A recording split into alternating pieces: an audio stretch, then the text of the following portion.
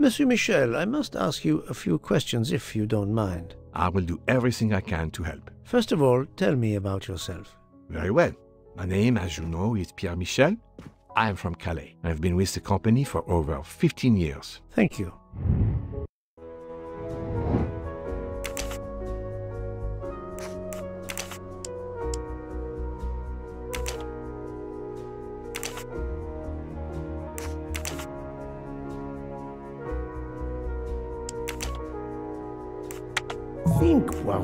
That is not a good answer. This is wrong. But I'm never far from. That was easy. Can you provide me with a listing of the passengers and their rooms, please? Yes, certainly.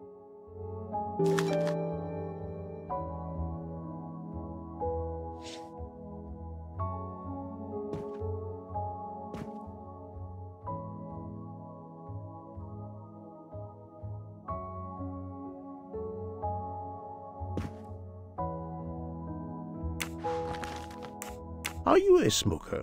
Indeed. Do you smoke e-cigarettes? No. Tobacco only.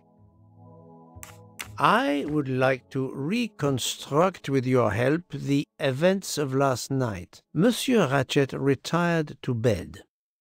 When? Almost immediately after dinner, sir.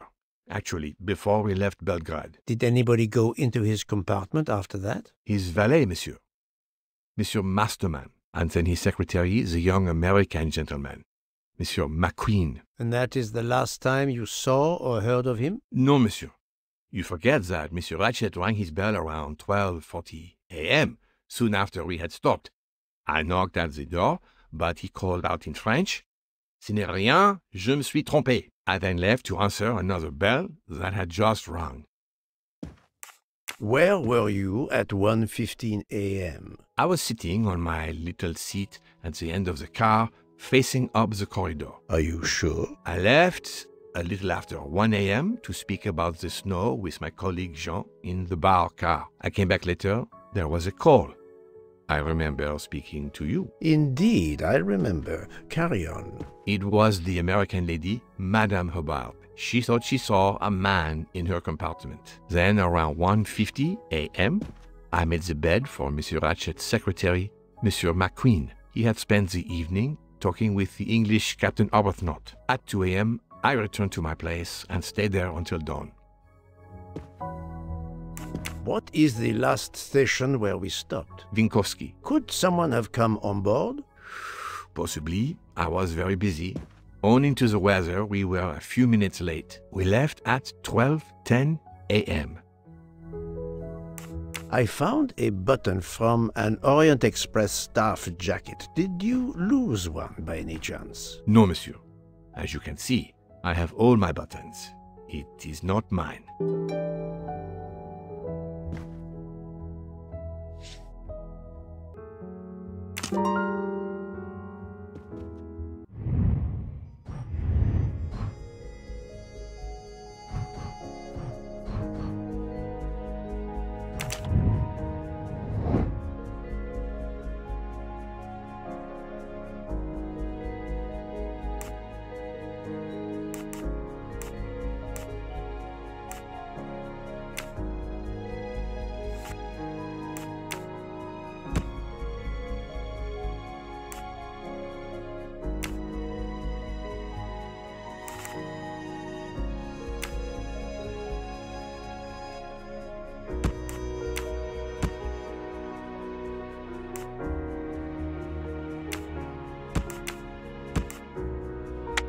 Must admit I'm not right this time.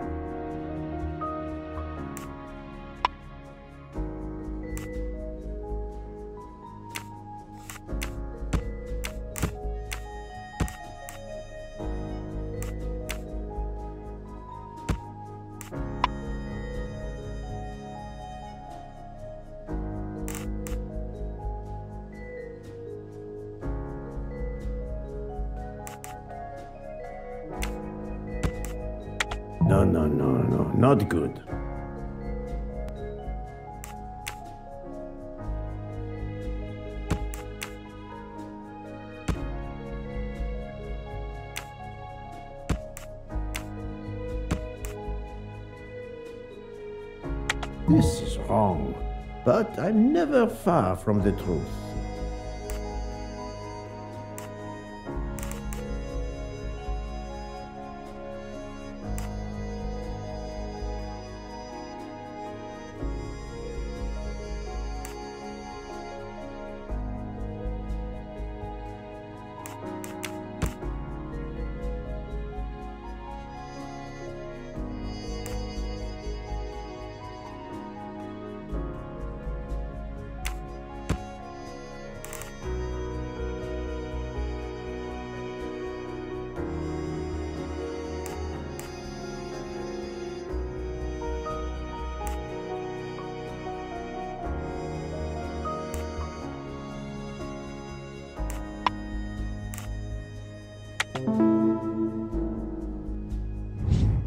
That was easy.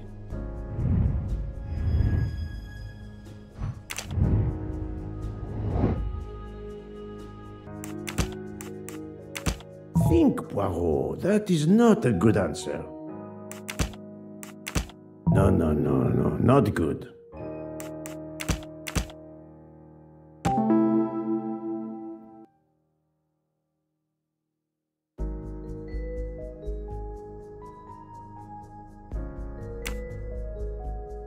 While Monsieur Michel was chatting with Monsieur Fauchet in the bar car between 1 a.m. and 2 a.m., the murderer could have escaped Ratchet's room without being seen.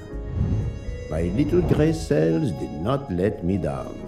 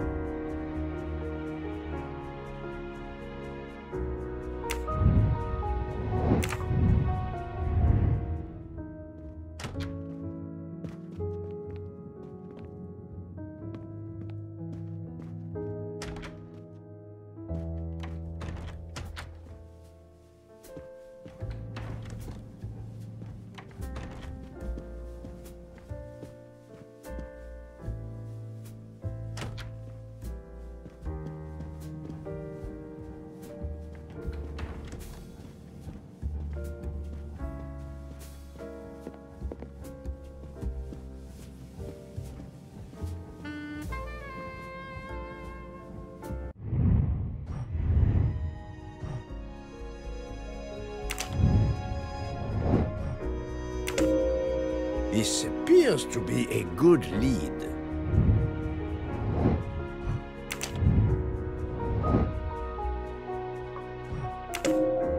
Very well, I choose to go this way.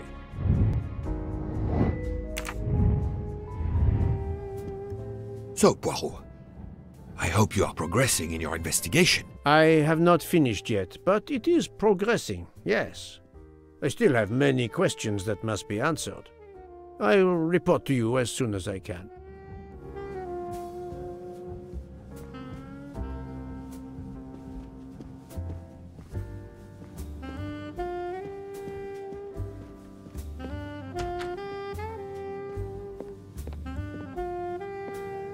The Orient Express bar is certainly well stocked.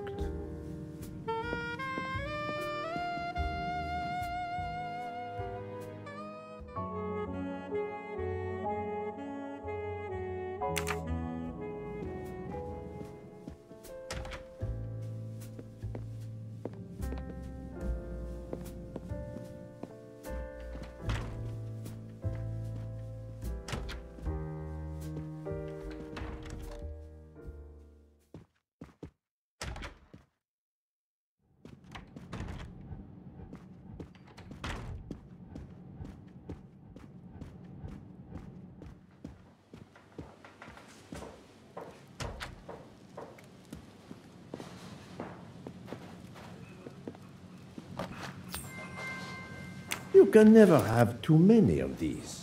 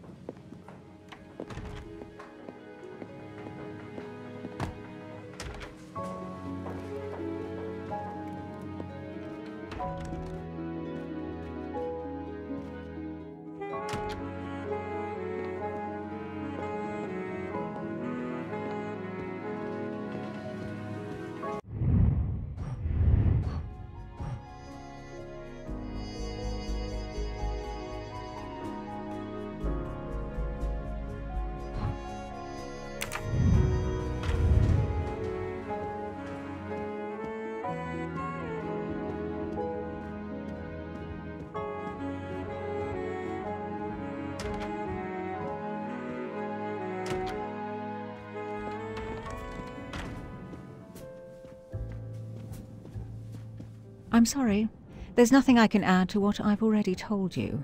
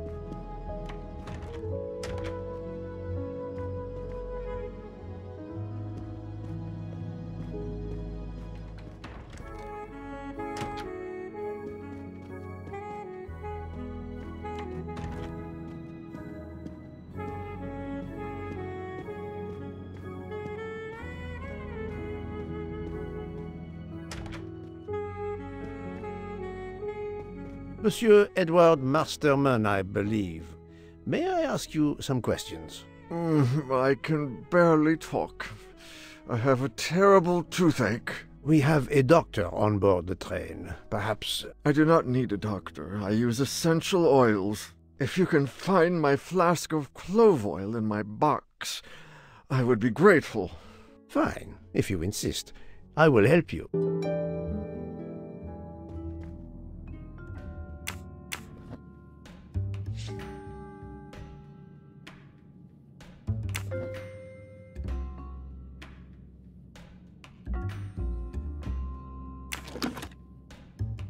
By the smell, I think that the jojoba oil spilled on the other bottles, leaving their labels illegible.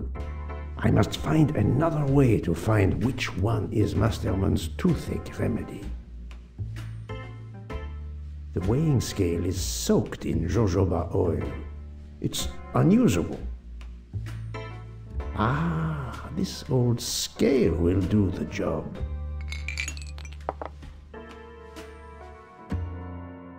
To start, I must first arrange the vials from the lightest to the heaviest.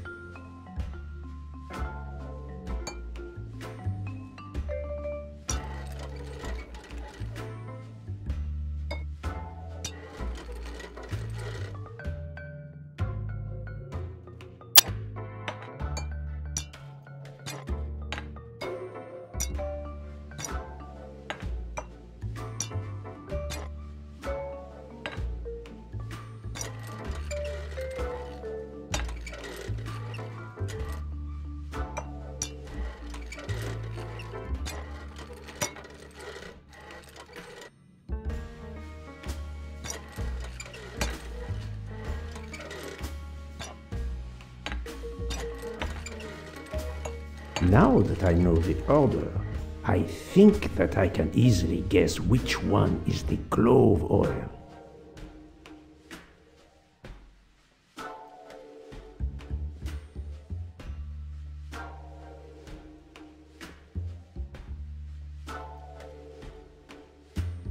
Hmm. I don't think this is the remedy. Here is Monsieur Masterman's remedy.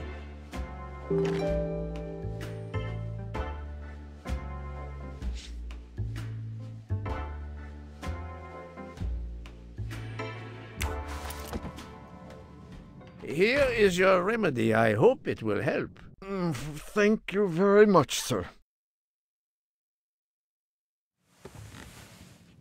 Ah, well, I can finally speak without too much pain. I'm ready to answer your questions. You are Monsieur Ratchet's valet? Yes, sir, that is correct. Were you told that your employer was murdered? Yes, sir. A very shocking occurrence.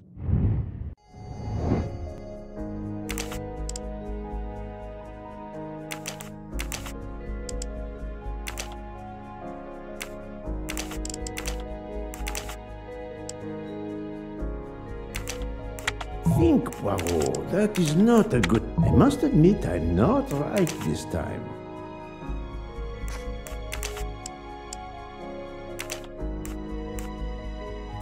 No, no, no, no, not good. This is wrong. But I'm never far from the truth. Think, Poirot. That is not a. That was easy. At what hour did you last see Monsieur Ratchet? It must have been around 9 p.m., sir. That or a little after. I went to bed around 10.30 p.m., same as the person who shares my room, Mr. Foscarelli. He almost immediately began snoring. What did you do then? I read, sir, and I spent a while soothing my toothache with clove oil and listening to the snoring. Did you hear anything during the night? Yes, my roommate snoring. Are you a smoker? Yes, sir. I have a cigarette now and then to relax. Tell me about your employer, Monsieur Ratchet. I've been working for him for nine months. I should not wish to speak ill of the dead, but he was uh, not a gentleman, sir. Did you know that he had enemies? Yes, sir. I heard him discussing some threatening letters, sir, with Mr. McQueen. Did he mention these letters to you? He had been reading a letter when I came in. He asked me if I was the one who put it in his compartment. I told him that I had done no such thing, and he should report it to the police at the next station. How did he respond? He laughed, sir. You're joking. I do not joke, sir. Forgive me, I can see you do not. Was he taking sleeping pills? Always when traveling by train, sir. He said he couldn't sleep otherwise. Last night he asked me to give him two. I did so, along with a glass of water. He dissolved them in the water. Did you see him drink the water? No, sir. I left right after I gave him the pills. Was Monsieur Ratchet a smoker? No, he finds smokers disgusting. Can you tell me again why you gave sleeping pills to Monsieur Ratchet? Yes, I gave him the pills because when he takes the train, he has trouble sleeping. The letter must have worried him. He specifically asked me to prepare the sleeping pills. I didn't see him drink the water with the pills in it.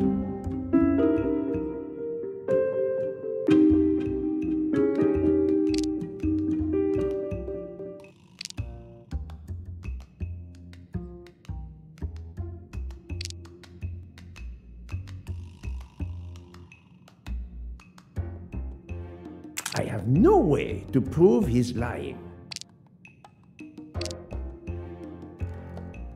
Monsieur, I believe you are not telling me the truth. What? How can you say that?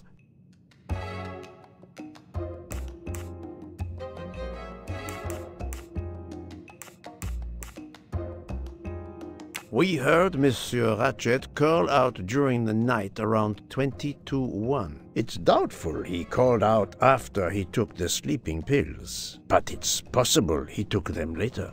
He asked me to make his drink for him. Maybe he drank it later. That's true, but it doesn't explain why Ratchet would want to take sleeping pills later that night. How could he ask you for sleeping pills when he had a meeting written in his agenda?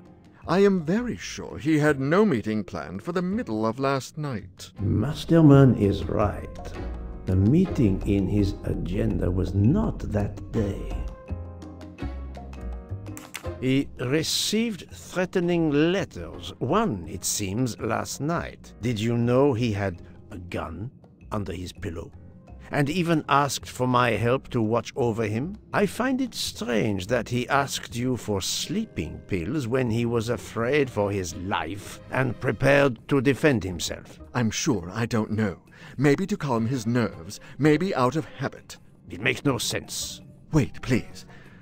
Isn't it possible that Mr. Ratchet asked me to prepare the pills, but didn't plan to drink them for some reason? It is possible. But I am a student of character, monsieur, and the Monsieur Ratchet you describe is not the man I met. Mm, If you'll excuse me, my toothache is getting worse again. I'm afraid this time you must prepare your own clove oil.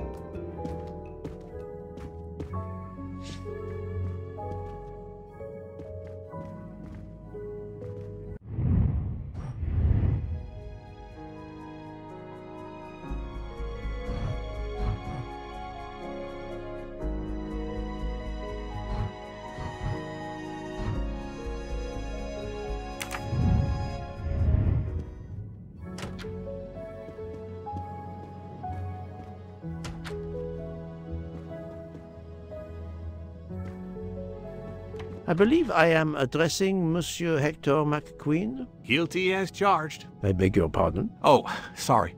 Just an expression. Uh, my father used to say it. You must have had an interesting childhood. I am Hercule Poirot. No need to be modest. You're a detective. You are Monsieur Ratchet's secretary? I am Mr. Ratchet's secretary. Just over a year. I mainly take care of translating certain texts for him. Mr. Ratchet only speaks English. Prepare yourself for a shock. Your employer, Monsieur Ratchet, is dead. So they got him after all. What do you mean? You are assuming he was murdered? I know he had enemies. What can you tell me about Monsieur Ratchet? He was American. He was an antiques dealer. I don't know much more. Mr. Ratchet never talked about himself or his life, but I think Ratchet wasn't his real name. And he left the United States to run away from something or someone. Yes? He started getting letters, threatening letters. Do you still have them? I have one. Did you know that Monsieur Ratchet had asked for my help? Asked you? No, I didn't know. He knew he was in danger. When did you last see him? Last night around 10 o'clock, I should say. Did you like your employer, Monsieur McQueen? No, I did not. He was, I'm sure, a, a cruel and dangerous man.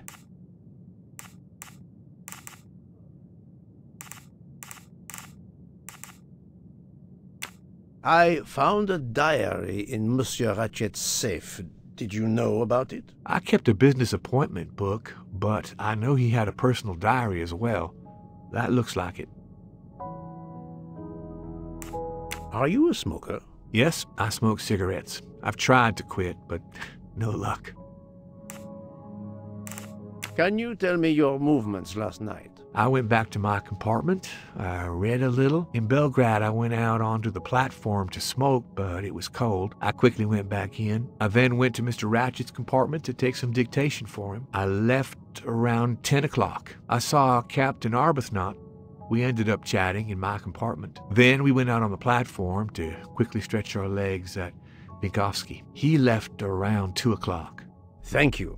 I will need to check Monsieur McQueen's story with Captain Arbuthnot. Can you give me this letter, please? Of course, here it is.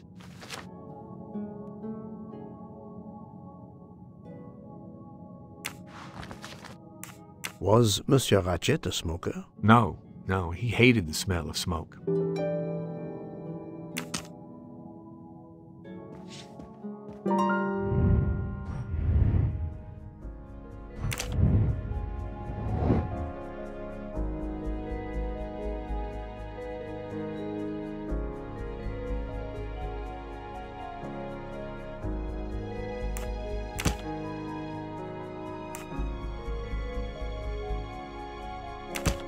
Think, Poirot. That is not a good answer.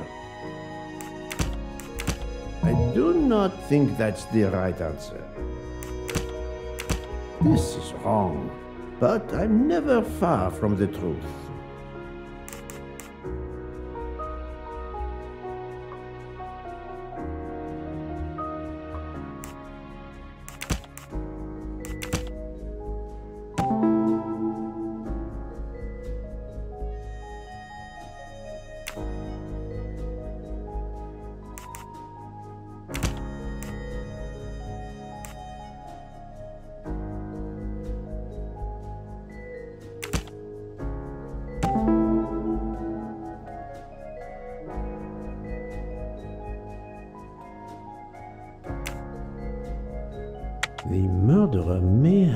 Impersonated Ratchet by calling Monsieur Michel to make it seem that Ratchet was still alive at 12.37 a.m.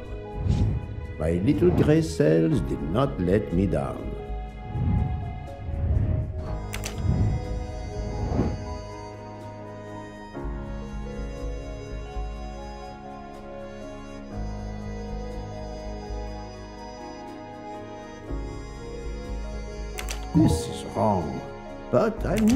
Far from the truth.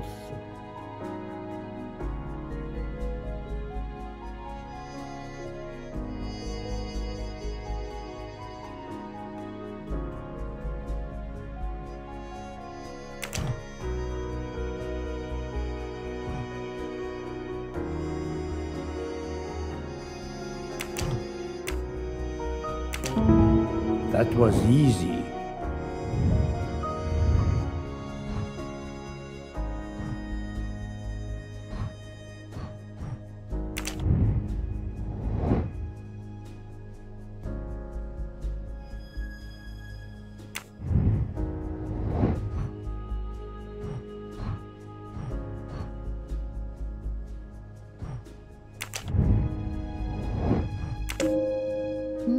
This direction looks promising.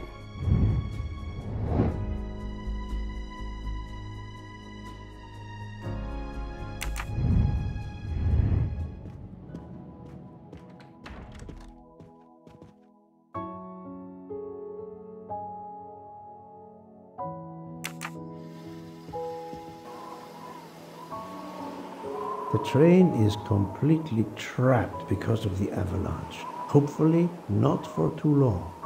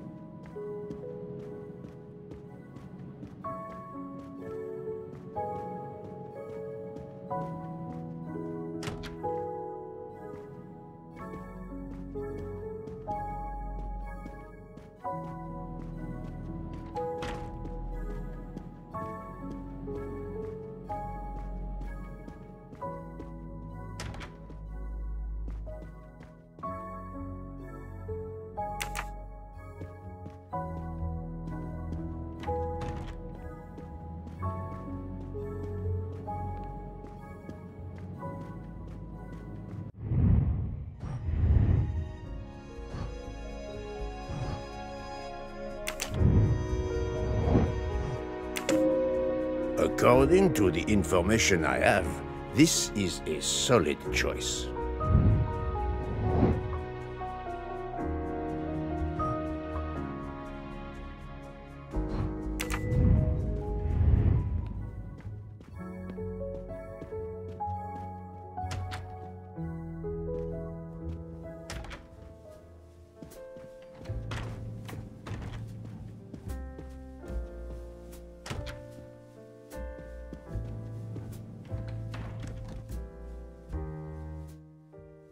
So, my friend, have you found our killer?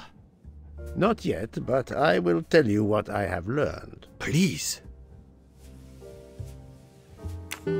Our assassin could have gotten on the train at Vinkovsky disguised as a conductor, entered Ratchet's room, and killed him. Then he walked out through Madame Hubbard's connecting door, where he lost a button from his jacket. He had to wait for Monsieur Michel to be absent. He waited too long.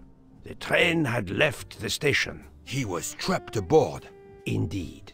He had opened the window to make it look that he'd escaped that way. However, if he waited until the train stopped again due to snow, his footprints would have been found. The murderer is still among us. On the train. There's a problem with the second class toilets. What now? All morning passengers have been complaining that the door is locked, so I went to check. I knocked, but no one answered. I didn't think I should open it without speaking to you first. You did well, Monsieur Michel. Lead the way. I use my master key.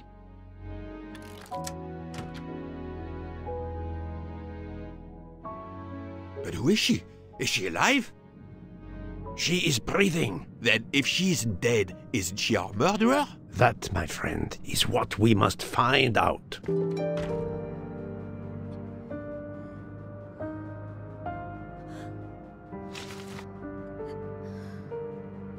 The ticket reads Joanna Locke, traveling in compartment 105.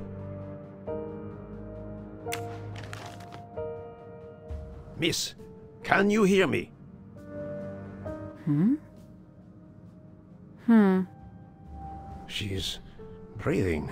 Her pulse is strong. There is no sign of physical violence. This woman is sleeping very soundly.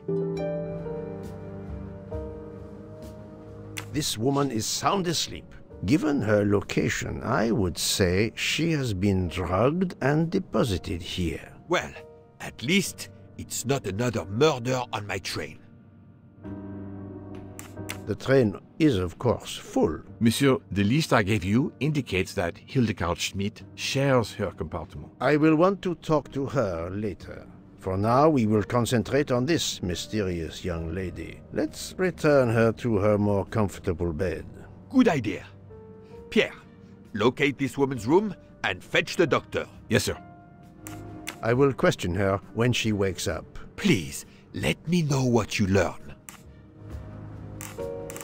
Mademoiselle Locke's compartment is 105. I suggest we return her to her more comfortable bed.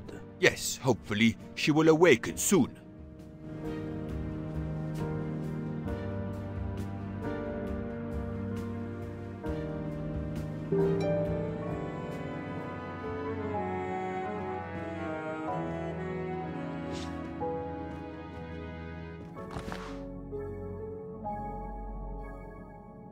A cup of tea with white residue at the bottom.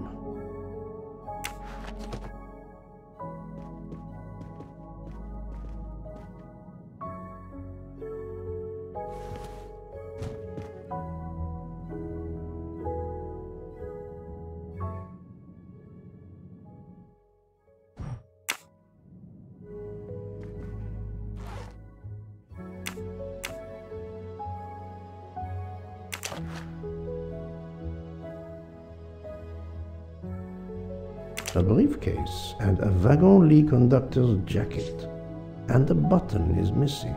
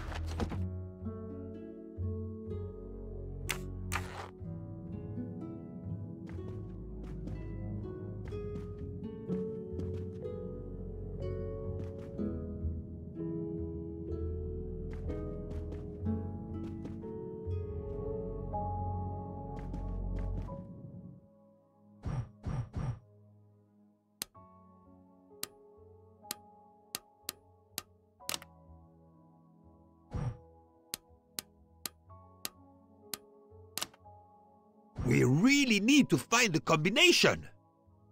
But of course you know what you're doing. It is booby-trapped, is it? So, Poirot, any luck so far? If you need a break, I can ask Jean to make you some coffee. No, that's mine. I never remember my passwords, so I make them. Bouc. Silent like a mouse, please. I'm sorry. You're right. I'll be quiet now. You need to concentrate. I will not utter another word. Not one. Bouc. There will be another murder on the Orient Express in a moment.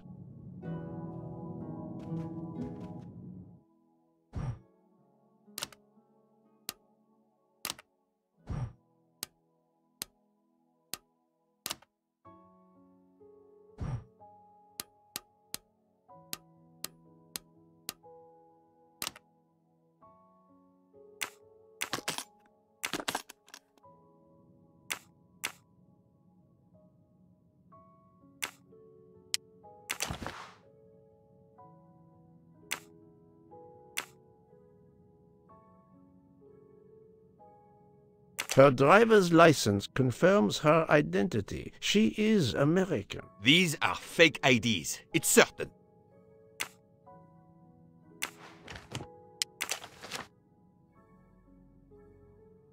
The stuffed animal is the same as in the photo found at the crime scene. What a coincidence. Mademoiselle Locke appears to have been investigating Monsieur Ratchett.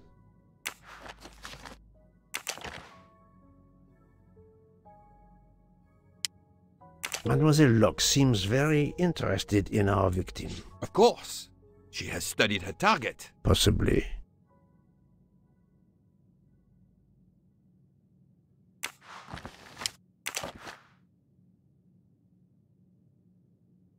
This badge says that Joanna Locke is an American detective with the Berkshire Police Department in Massachusetts. An American police officer?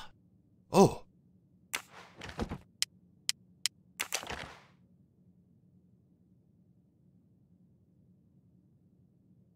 She has a gun. Come, come, Poirot. Criminals are often known to carry one. Ratchett was stabbed, not shot. But then why take it on the train? Look, she's waking up.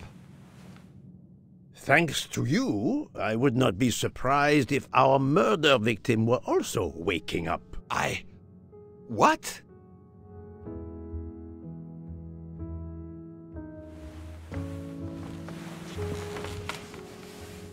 Oh, my head.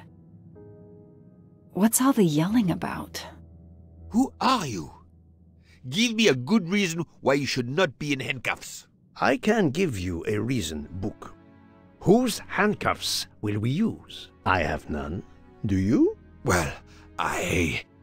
You are Joanna Locke, mademoiselle? Yeah, yes, um. Joanna Locke. I'm, um. I'm a detective.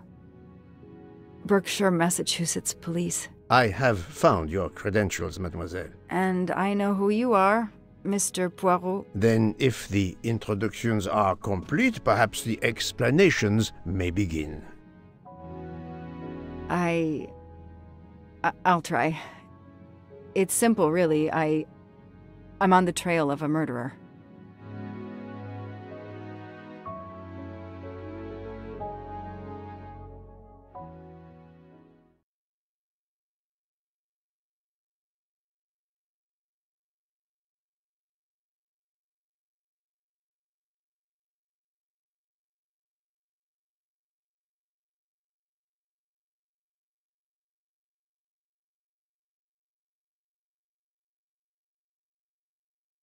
Had just been promoted to detective after five years on patrol.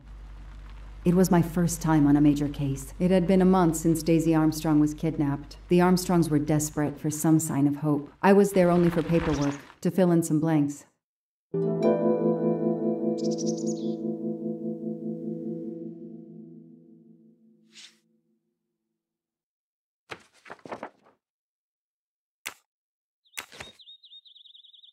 The investigation is now part of a pile of investigations, and my captain sent me here just to dot some I's and cross some T's.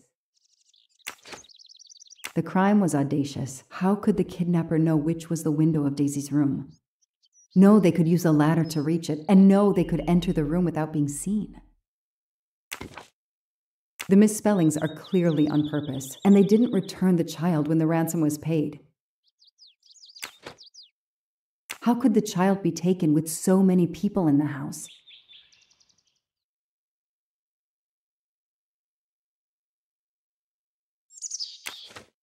I can't imagine the pain her parents felt when they realized Daisy was gone. How are they going to feel when they realize I have no answers for them? Only more questions.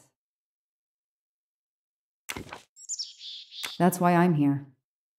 A damn computer glitch. Or somebody pushed delete instead of save. Whatever happened, we lost the nanny's deposition. So my entire contribution to the investigation is to take it again.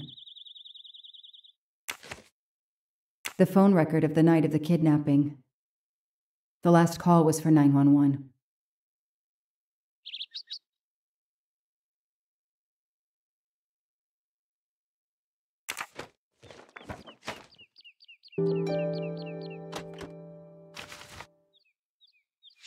A topographical map, often more important than a road map in these mountains.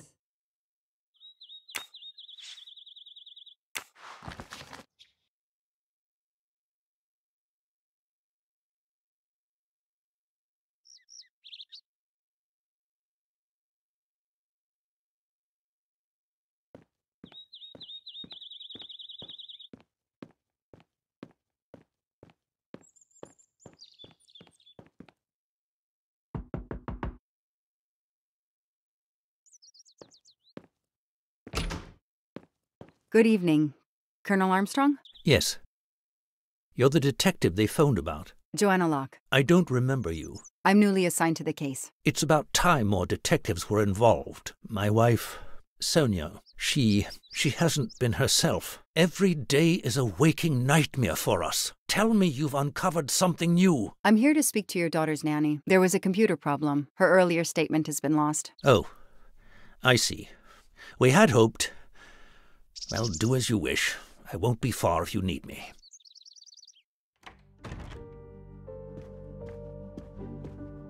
Their fairy tale became a nightmare.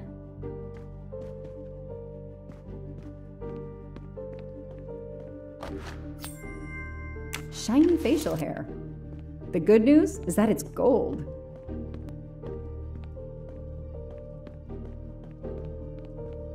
Sympathy and support for the Armstrong family during this difficult time. Thoughtful, but never enough.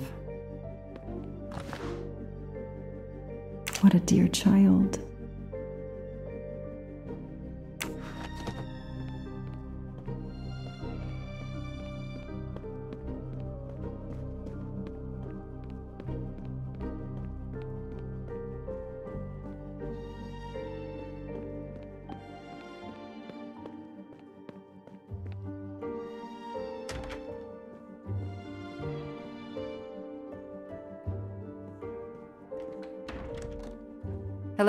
Are you Suzanne Moreau, Daisy's nanny? Yes? I'm Joanna Locke, a detective working on Daisy's case. Is there any news? I'm afraid not. How can I help you? I'm really sorry. I'm afraid I have to take your statement again concerning the evening of Daisy's disappearance. There was a computer problem. Your statement was accidentally deleted. Of course. I want to help any way I can. Tell me about that night in your own words. The Armstrongs had a party to raise money for a museum, I think. Mrs. Armstrong is on their board. I was in charge of Daisy. I stayed with the little one all evening, playing with her and reading books to her. She couldn't sleep with all the noise and the comings and goings. When did you notice Daisy was missing? I was only gone five minutes to. to phone my mother. She's in the hospital. When I returned, Daisy wasn't in her bed. I thought she might have gone to look at the party, but then I saw the handsome note on her pillow. I screamed and screamed. I couldn't stop. Did you notice anything unusual before that? I was with Daisy all evening. Finally, she fell asleep. I didn't see anyone else or notice anything in particular. Do you have any idea who did this? No! I can't see who could have done such a horrible thing. The Armstrongs are such good people. Like my own family. Thank you for giving me your statement again. I'll get back to you if I have any questions. I won't be far. Okay, I have Suzanne's statement, but her answers need some checking.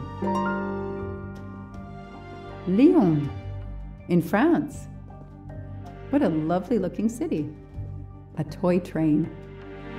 Now here I am on a real one.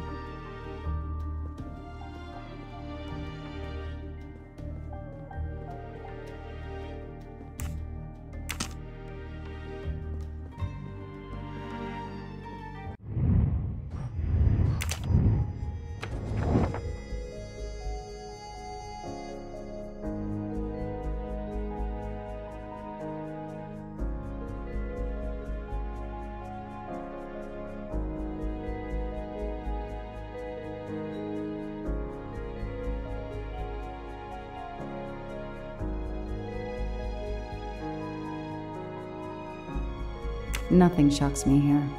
This information does not correspond to what Suzanne told me. Suzanne said she left Daisy alone for five minutes, but Mrs. Armstrong says she stayed with Daisy for a while and Suzanne did not return.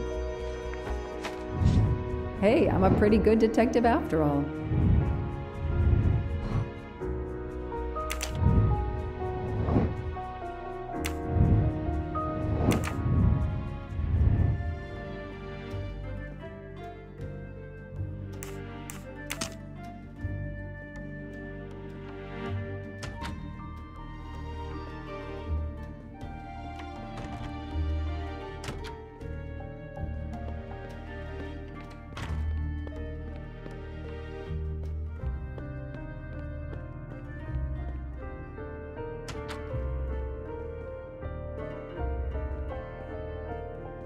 The world through the eyes of a child seems so sweet.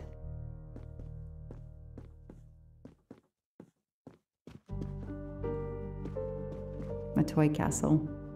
When I was a kid, I had a police station and a tiny squad car with a siren that really worked. Not really my style, but I'll take it. Mrs. Armstrong, my name is Joanna Locke. I'm a detective investigating the kidnapping of your daughter. May I talk to you? When is your baby due? Mrs. Armstrong? Sonia? I don't want to talk. I just want to see my daughter again. That's all that matters. The poor woman. I can't imagine how she feels.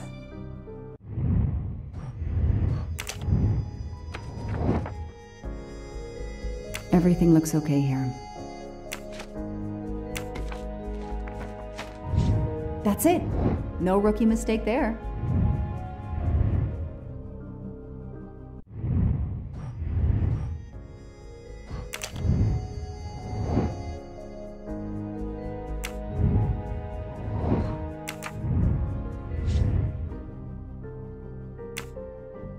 Mrs. Armstrong?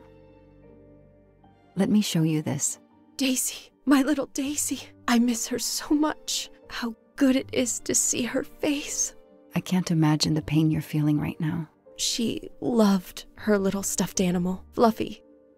She took him everywhere with her. The kidnappers took it as well. They didn't have to. That means they wouldn't hurt her, doesn't it? Every lead will be followed up. You have my word on that. Thank you. I shouldn't lose hope. Somehow. I know it isn't my case, but I just made a promise, and I mean to keep it. Do you know where I can find Miss Moreau? She's in her room. Last door on the left.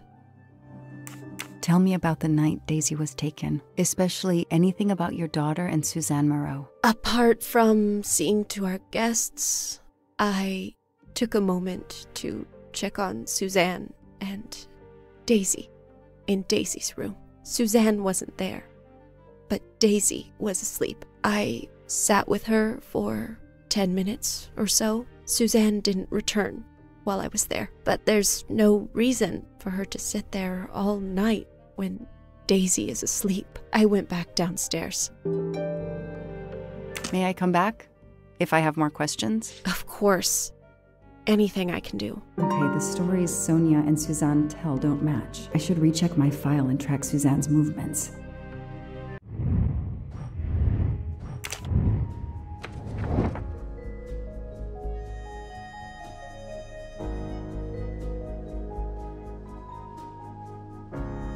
Nothing shocks me here. That is not exactly what Suzanne told me earlier. Suzanne was on the phone more than five minutes. Score! One for the good guys.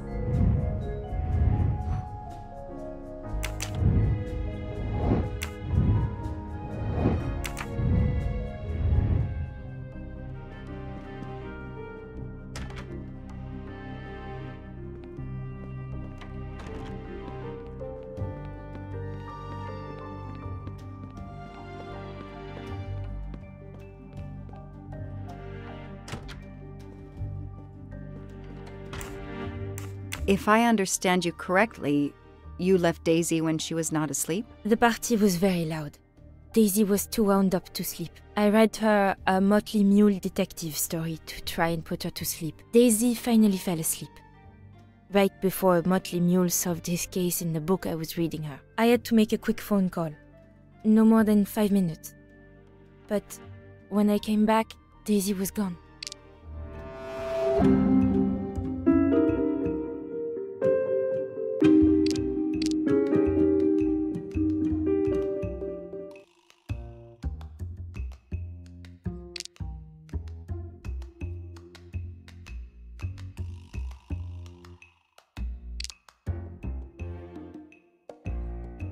It says detective on your badge. Prove she's lying. Are you sure you were only gone for five minutes? Five, six, what does it matter? It was very quick. What you're telling me doesn't really agree with what Mrs. Armstrong says. Mrs. Armstrong must have looked in right after I'd left. That's how it could have happened. But the timing of the kidnapping had to be so precise. How could it be? I need to find something more concrete. You say you were only away five or six minutes, but Mrs. Armstrong says she was alone there more like 10 minutes. And the phone record shows that you stayed on the call for more than 30 minutes, way longer than you said. My mother is extremely ill. It's difficult for me. I may have lost track of time. When I came back, Daisy had disappeared. It must have been a coincidence. You have to be precise, Suzanne. A little girl's life is at stake. Why are you doing this? I didn't do anything wrong. I would never hurt Daisy. I need to check Suzanne's story. She's panicking. Why? I should see if the Armstrongs can confirm what Suzanne told me.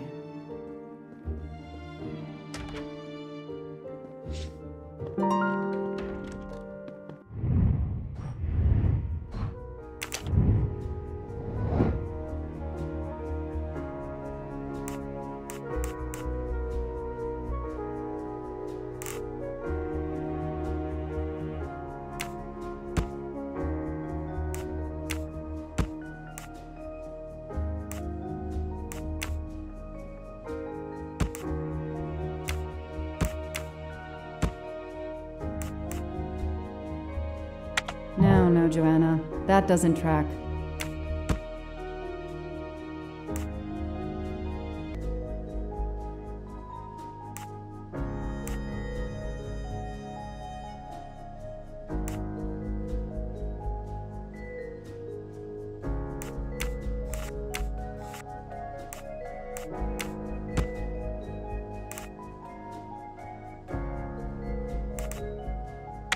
I don't need Mr. Poirot to tell me I'm wrong.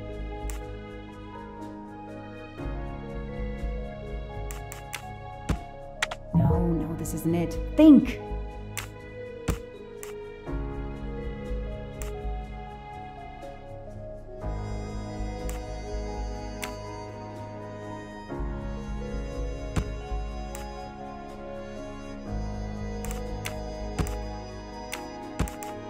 Come on, Joanna.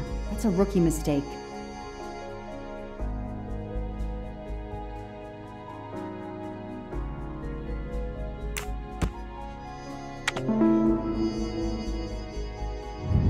The detective gets it right. The kidnapper places a ladder under the window to Daisy's room. Then he joins the party, just one guest in the crowd. He somehow knows when Suzanne leaves the room, then sneaks upstairs. He opens Daisy's window, carries her down the ladder, and vanishes.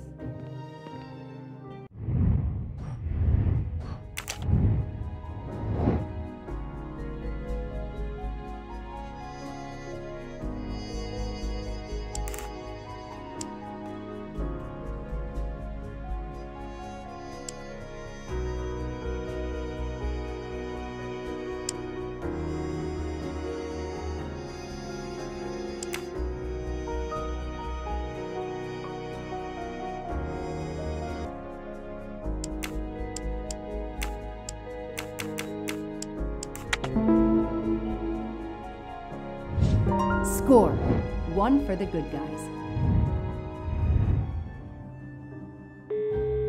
The number you have called is not in service at this time. Please hang up and dial again, or contact your service provider.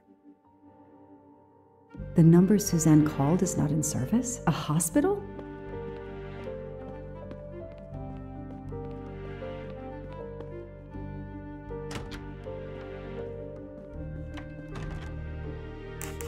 I spoke with Suzanne. She was phoning her mother. That's why you didn't see her when you went to check on Daisy. Yes, her mother. I tried to call the poor woman earlier that week, but the hospital said she's been in a medically induced coma for more than two months. Suzanne told me she called her mother, but she would have known her mother was in a coma.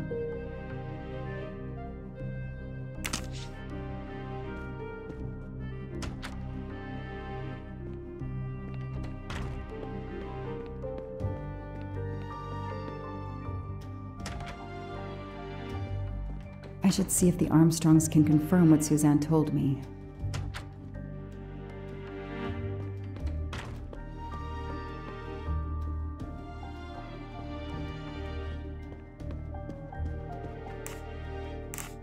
How are you doing?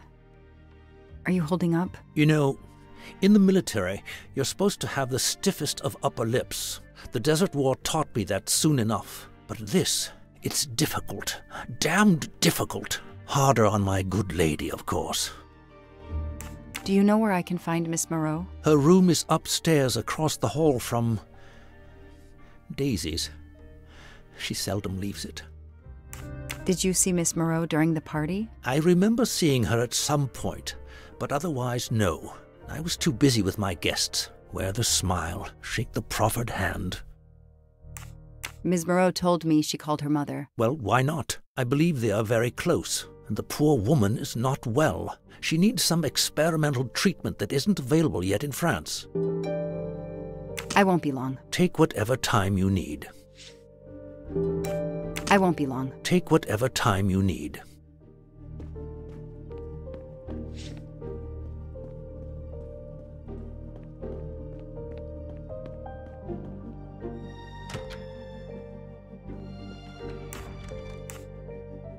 The number you called that night is no longer in service. I, I, I don't understand. That's that's the number the hospital gave me to call my mother's room. You told me you were on the phone with your mother when Daisy was abducted. As we said earlier, I didn't pay attention and was on the phone longer than I said. But since my mother is very ill, she had to leave her hometown, Lyon, because the treatment is not approved yet in France. She is in an hospital in Boston for a special treatment. I call her every night to check on her. When I came back, Daisy was gone. I'll never forgive myself.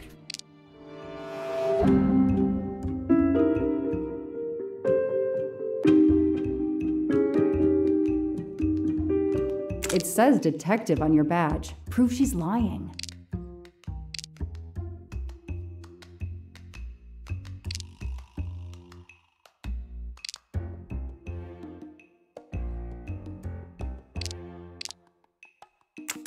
Joanna. You can do better. Are you sure you called your mother? Yes, every night since she was admitted in December. Your mother had to leave a country renowned for its social security, where healthcare is affordable, and go to Boston for expensive, specialized treatment. I imagine that the cost of her care must be high. Did you think that your share of the ransom would pay for your mother's care? How can you think that I would allow Daisy to be kidnapped for money? She's like my daughter. I could never imagine such a thing. Her reaction seemed sincere, but I needed to see how she'd react. Suzanne, I checked. The number you say is a hospital appears to be disconnected. That's pretty strange, don't you think? It's always worked in the past. The area code for Boston is 617. This was 413. That's our local area code. She's obviously lying, but why? She seems to really care about Daisy. Suzanne, I think you really care for Daisy. If you do, then tell me the truth. You can't have been calling your mother while she's in a coma. My mom really is in a hospital in Boston. She really is in a coma. I. I wasn't calling her. I was on the phone with my boyfriend, Noah. Why lie about it? Why are you panicking? Because he's gone. I haven't heard from him since the night of the kidnapping. I'm afraid he's somehow connected to Daisy's disappearance. That he was just using me somehow. But I swear I talked to him. Yes, for more like 30 minutes that night. So he couldn't have kidnapped Daisy at the same time we were talking. But he could have kept you talking so someone else could take Daisy. Yes, you can see why I lied.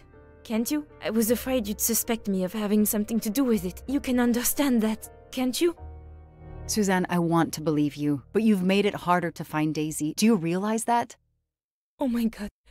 What have I done? What's most important is not what you've done, but what you do now. Go. I'll be back to talk to you. No more lies, Suzanne. For Daisy, no more lies. Noah.